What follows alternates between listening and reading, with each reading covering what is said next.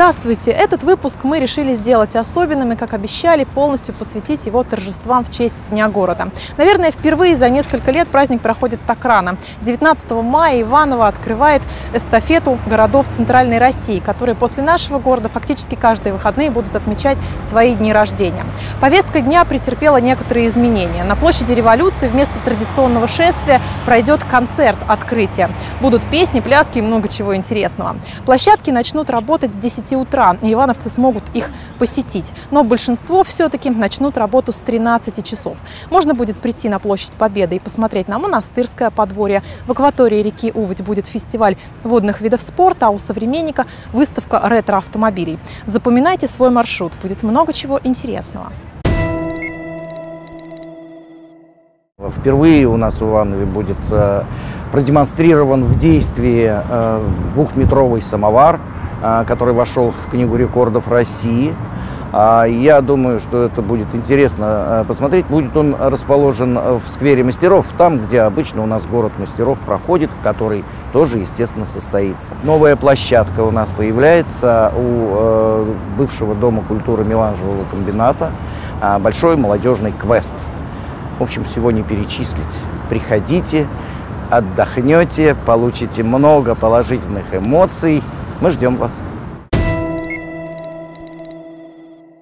На арт-арбате, молодежном арт-арбате будет масса молодежных площадок. Здесь будет и гончарный круг, Здесь будет э, интересная лепка из глины, э, чашечек, кружечек и сувениров. Здесь пройдут спортивные мастер-классы от ведущих спортсменов и Федерации Ивановской области и города Иваново. А здесь будут интересные э, мастер-классы по танцам. Впервые здесь, на Молодежный Арбат, мы выводим наших учащихся, мастеров чайной церемонии. Они покажут, как работают чайные, э, как работают э, э, волшебные китайские палочки. Они вырезают из бумаги удивительные иероглифы. И главное, они покажут мастер-класс по каллиграфии. Каждый желающий может нарисовать волшебный иероглиф счастья. А особенность иероглифа китайского заключается в том, что каждый, кто его напишет, он имеет возможность это счастье поиметь. Поэтому приглашаем вас за счастье, дорогие ивановцы. Студенты и выпускники Иванского государственного политехнического университета решили взяться за реализацию проекта живых статуй. Горожане могут приходить, э, фотографироваться, наблюдать за ними, смотреть. Можно даже ну, немножко потрогать их, в принципе. Вот. Они порадуют вас какими-то аккуратными движениями, возможно. Ну, такие вот актерские идеи, штучки. Будет граффити-фестиваль, посвященный столетию губернии. Будет проходить он на площади Пушкина, в день города Иваново.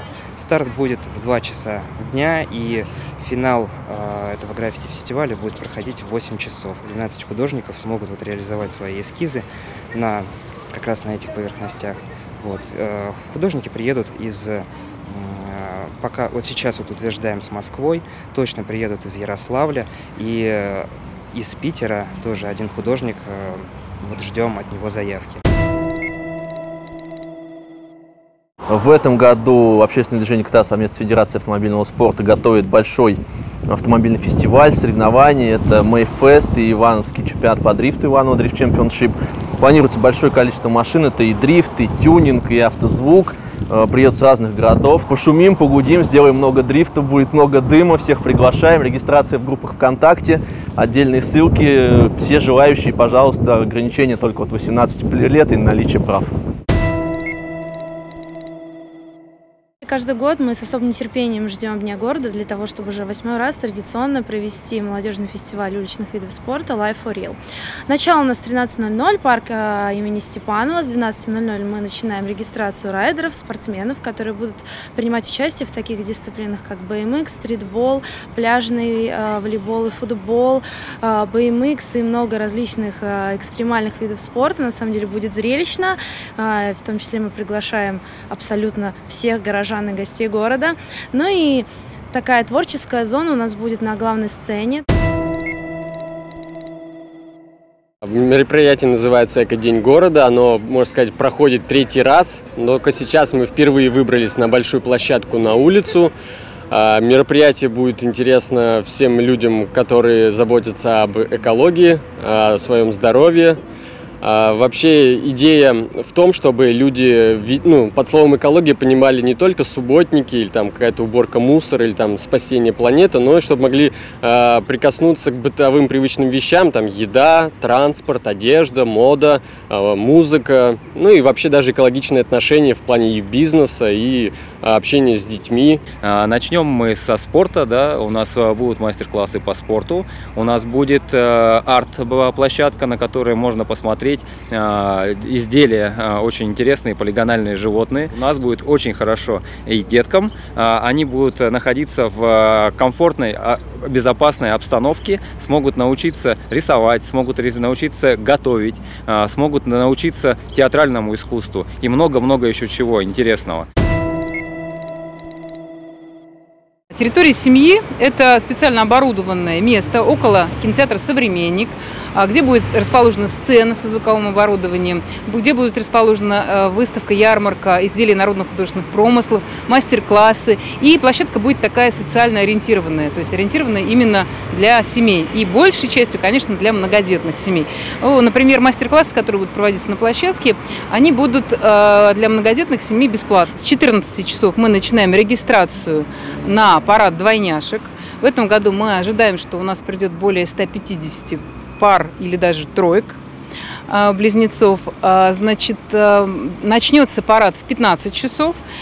Все время на площадке у нас будет концертная программа.